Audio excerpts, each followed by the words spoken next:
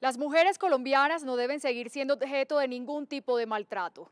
La Cámara de Representantes sale una vez más en defensa de la mujer con un proyecto de ley que fortalece la protección contra el abuso intrafamiliar.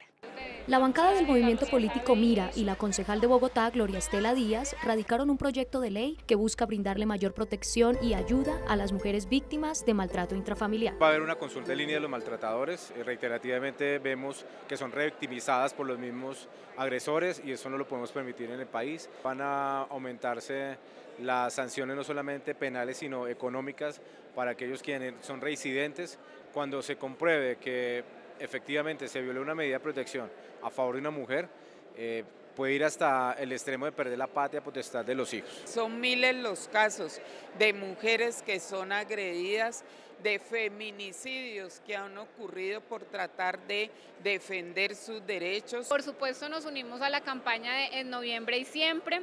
Nuestro lema como mira es con el maltrato no hay trato y en este periodo creo que hoy es un día emblemático para haber radicado nuestro proyecto de ley. Varias víctimas de la violencia y sus familias estuvieron presentes durante la radicación este importante proyecto de ley.